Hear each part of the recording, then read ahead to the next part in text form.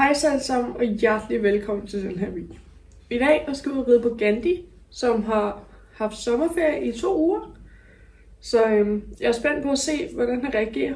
Men øhm, der er ikke andet at sige, andet end at vi ses nede på ridebanen. Ja, ja. Fordi bladene blæser lidt i dag. Det plejer jeg jo at gøre. Det er jo ekstra, ekstra Nej.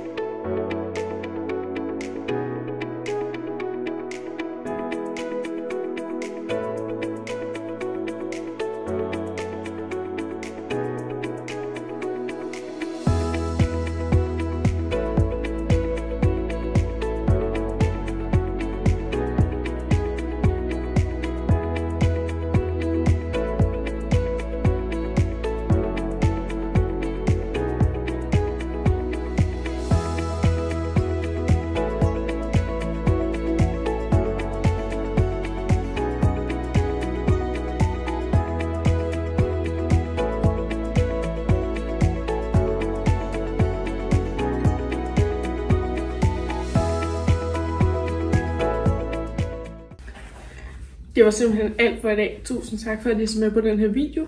Gandhi han klarede det faktisk overraskende godt. Øhm, han gik afslappet, og alt var bare lige som det skulle være.